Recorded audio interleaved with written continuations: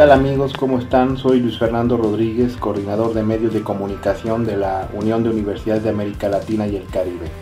Aprovecho este momento de encierro, de cuarentena por COVID-19 para felicitar a Radio UNDAP, a Radio de la Universidad Nacional de Avellaneda por su octavo aniversario y a TV UNDAP por su cuarto aniversario.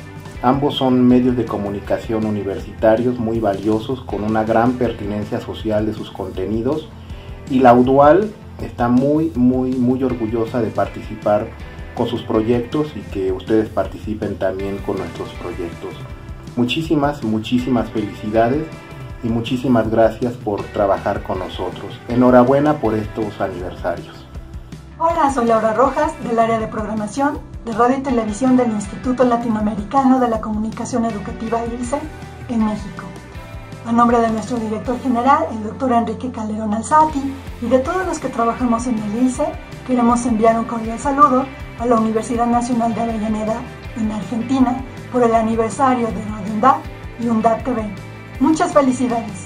Buenas, soy Daniel Martín, presidente de RIU, Radio Internacional Universitaria en red de la que precisamente ejerce la, vicepresidencia Radio UNDAP.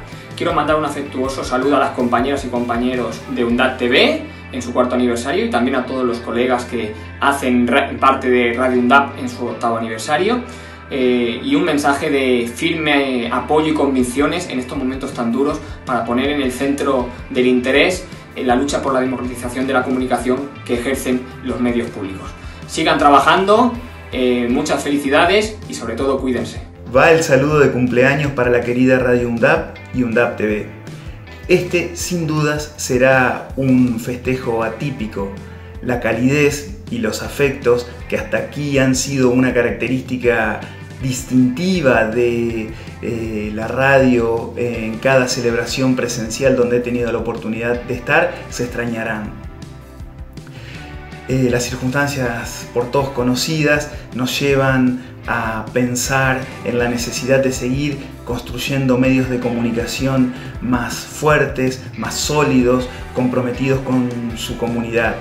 Y por eso creo necesario que es momento de ensanchar la mirada, de correr el horizonte y seguir apostando a la construcción de estas redes, estas redes que han tenido a la radio de la universidad de Avellaneda como protagonista imprescindible en el destino eh, que hasta aquí las ha hecho crecer y nos ha permitido avisorar un gran futuro.